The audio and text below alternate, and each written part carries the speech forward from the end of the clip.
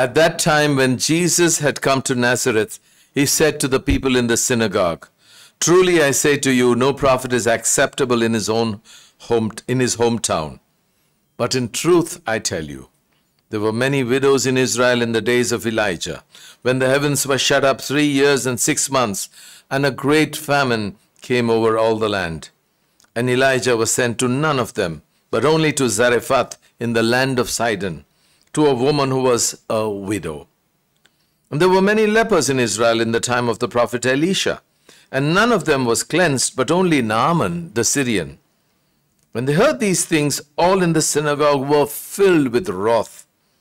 And they rose up and drove him out of the town and brought him to the brow of the hill on which their town was built, so that they could throw him down the cliff. But passing through the midst, he went away.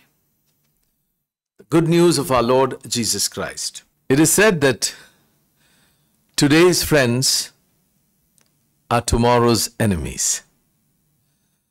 But as the wise guy remarked, some don't wait that long. The crowd that was singing Hosanna on Palm Sunday soon turned to crucify him on Good Friday. Well, in the gospel today, they don't wait that long for the week. Because let's get the context of the gospel. It's Luke chapter 4. Jesus is in his hometown of Nazareth. He goes into the synagogue. He opens Isaiah 61. He reads the text. The Spirit of the Lord is upon me. He has anointed me. He has sent me to give good news to the poor. And then he concludes that section by saying, Today, this scripture is fulfilled in your hearing. Now, hearing this, we are told in the text, in the verses that come before today's gospel text, that the people in his hometown were impressed. And so the crowd, however, impressed as it is, is soon going to become a mob. There's going to be a mood swing. He's just a local boy. They want him now to do his the wonders he has done elsewhere to do it in his own hometown. They find it so hard to understand how this simple, ordinary person, the son of Joseph, whom they knew so well, could be capable of all this. They held within themselves prejudices don't we know him? There's nothing special about him. They are willing to accept him if he is willing to prove himself with all the wonders that he has been credited with in other places. Jesus is conscious of that, but he's not going to perform a divine magic show. He's not going to oblige them with a shock and awe display. No, he's not going to do that. His aim was to proclaim the kingdom of God, to bring about a better and a just world, what he called, as I said, the kingdom of God.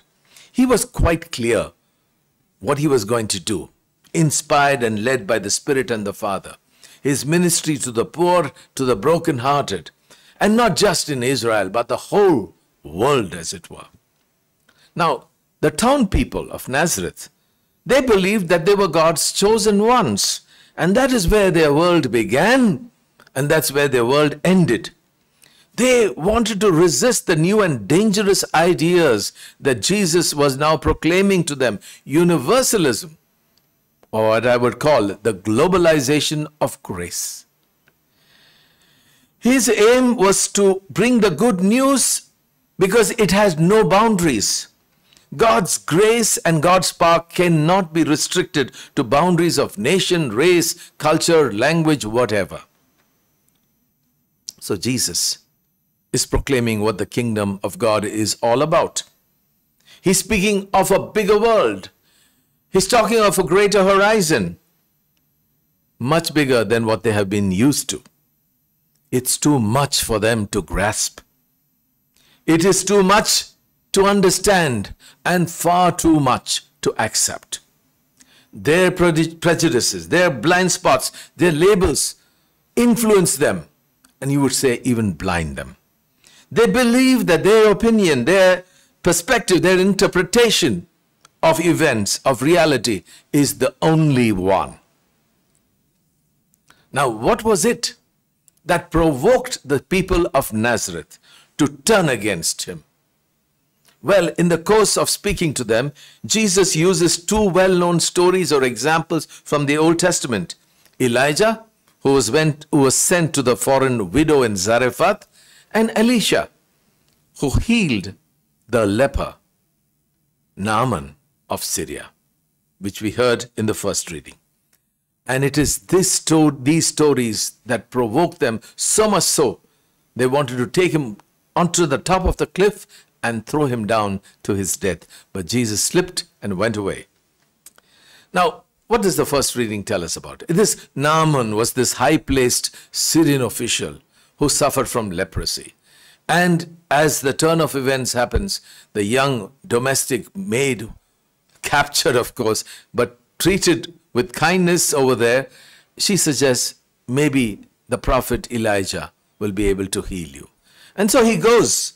He goes with, as you heard in the reading, goes to meet the prophet Elijah, who's, whom he thought would have a shock and awe kind of display. The prophet Elisha doesn't even step out, but he instructs him to go to the Jordan and to bathe seven times. Now, Naaman brought all his contributions and wealth and thought he, it would be something very dramatic. But for him, it was a shock. There are better rivers in my country. This small, little, meandering river, the Jordan, of a poor nation and a despised nation as that. And in a huff, he just wants, throws tantrums and wants to walk away. His prejudices do not allow him to be open to the healing that is being offered by God through the prophet Elisha. But thankfully, his servants plead with him and he allows those prejudices to drop. He goes ahead and is healed.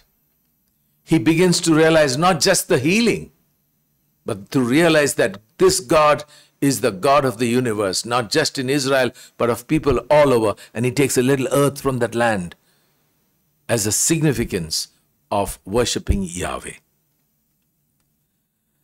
What he realizes there are no limits, no boundaries to God's grace. But sometimes our prejudices, the labels that we put on others, prevent us from recognizing the hand and the grace of God. In both the readings, we see a word that is offered.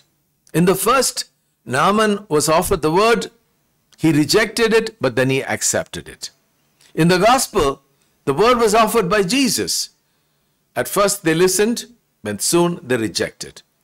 What we see that Naaman was able to recognize his need and to accept the word by overcoming his prejudices. But the people of Nazareth, they did not need anything from this carpenter of Nazareth except perhaps wooden benches and beds. Certainly not his word, because they were so rooted in their prejudices. What about us? What about us in the context of we who are celebrating this Eucharist, in the context of marriage and families and relationships? What do we see happening in our relationships? When we hear a perspective, an opinion, or a thought that is different, not sinful, but different from us, are we able to discern that because I am human, the truth is larger than what I see? and that my perspective is not the only perspective. Now, when this happens, and this becomes our attitude in life, there is so much of acceptance and understanding. But if not, if it's not there, then there is so much of rejection and misunderstanding. Don't we see that happening in relationships, in families, and in homes? When I am fixed in my opinions, rigid in my stand, not as a matter of conviction, but the way I interpret or see reality, then I'm setting myself up for a series of conflicts.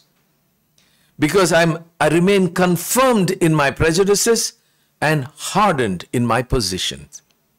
It could happen between a husband and wife, between parents and children and siblings, between in laws, it could happen between neighbors or friends who have fallen off. We hold grudges against those who do not fall in line with, with us with our stand or fail to receive our version of events. We resent those who do not accept how I perceive, see, or understand and interpret reality, as though I am the only point of reference. And if we do not catch ourselves going down this path, we end up isolating, excluding, mocking, and even gossiping about those who fail to think like us. We could end up, sadly, sitting on a high horse of holiness occupying the throne of self righteousness and positioning ourselves on the pinnacle of piety. How often we fail to see God coming into our lives simply because of our prejudices or because of our blind spots. In the gospel, the words of Jesus precisely pricked the conscience of the people in Nazareth. Instead of seeing the words of Jesus as an invitation to change, to be converted, to repent, they stuck to their prejudices. They got very defensive and I would say offensive because they sought to take him to the top of the cliff so as to throw him over to his death. My dear sisters and brothers, as we celebrate this Eucharist, especially in the context of marriages and families, it is important and necessary to allow these readings to speak to us. We have a choice, really. Are we going to respond in a similar way that the people of Nazareth did? Confirmed in our positions and practicing our prejudices. Or, I would like to believe that you and me and all of us in our relationships of home, families, friends, neighbors, place of work, will allow the words of Jesus to enlighten our minds, fall gently on our ears, penetrate our hearts, so that we become instruments of healing, just as the prophet Elisha was in the first reading, and instruments of redemption, as Jesus always is. So may it be in your life and in mine.